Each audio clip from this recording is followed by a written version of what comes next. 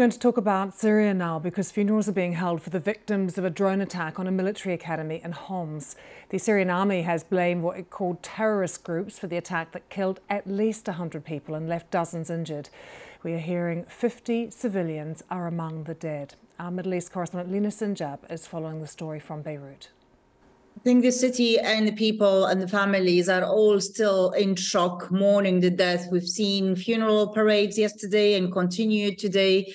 Uh, the whole country is really in, in shock about this uh, drone attack. As you mentioned, the government is blaming, um, you know, what it's called as terrorist groups, but it's really hard to understand as to who is behind this attack. The government immediately launched, um, you know, attacks on rebel-held areas in northwest and area, uh, which is a sign of retaliation. But so far, is little is known about who and why this attack took place. It's thought this was a drone attack, though, Lina. Do we know which of the groups that operate in that part of Syria has the capacity to deploy a drone in this kind of way? Well, to start with, no one has claimed responsible for the attack at the moment. And in the past, following all the situation in Syria, although the Syrian sky is very busy, you know, you have the Turks, you have the Kurdish, you have the Americans operating, you have the Iranians, the Russians, you know, everyone is like violating the, the skies, even the Israelis. But in the past, uh, the HTS, which is the Hayat Tahrir al-Sham that was linked to Al-Qaeda at some point, used some uh, drones to attack in Latakia uh, nearby from Idlib, which is a short distance. But it's hard to um, to believe that they have you know drones with capacities to uh, launch such you know explosive attacks from over a hundred kilometer distance. Uh, so far, it's really um, raising lots of questions, especially that the Minister of Defense, who was there to attend the ceremony and celebrate with the graduates, left the scene just before the attack and even without attending the ceremony. So there is a high alert that he may have been warned against it, but did nothing about uh, the uh, the rest. But of course, we can't confirm the reason why he left at the moment. Diana Darke is author of My House in Damascus and The Last Sanctuary in Aleppo and joins us now. Diana, a devastating day for people in Homs, three days of national mourning. We think that maybe 50 civilians, because families were there at this military academy, women and children as well, were killed in the attack. What were your thoughts when you first heard of the attack and who might be responsible?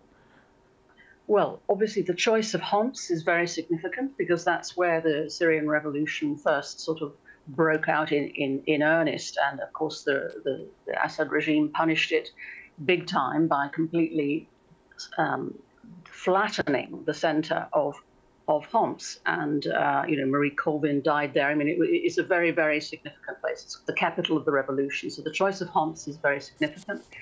The other thing that struck me was it's uh, it's a kind of it's a change. It's a new thing. This use of drones against um, Assad regime targets, and the echo it immediately had for me was Ukraine. Strangely, because of course we've been hearing about the Russian attacks on in, in Ukraine on civilian targets like um, funerals, markets, um, schools, hospitals. It's exactly what the Assad regime was doing in, in Syria with, with Russian help. And, and, and of course, the Ukrainian response to that was to start sending drones into the center of Moscow. So the sort of the sort of David and Goliath kind of response in a way that's that's certainly new here. That this kind of drone attack on Assad regime um, forces is is as, as far as I'm aware un, unprecedented. So it could be the you know the beginning of something else in in what is a absolutely devastating war been going on for 12 years and it is not over even though some people may think it is. so, Diana, do you think there would be only certain groups operating in that area who would have the capability to be able to deploy drones in this way? Well, up to now, um, people didn't think that anybody did have this kind of uh, capacity. That the you know the major group, the the Hayat Tahrir al-Sham, the HTS Al Qaeda affiliated people in Idlib, they haven't had this kind of. Um, they could do it without help from outside.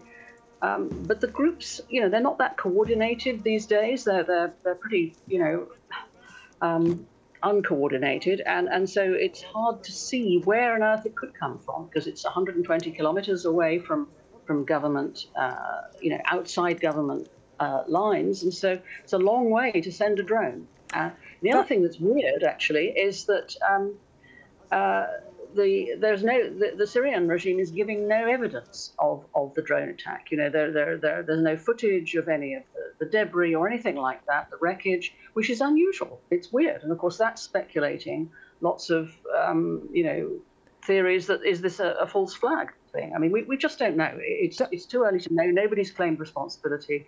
And Diana, can it, I just it, ask you, you? You've already raised Ukraine, and Syria, of course, has fallen off the radar for many people and off people's agenda in a sense. But 12 years of immense suffering now for the people of Syria. What is life like there at the moment?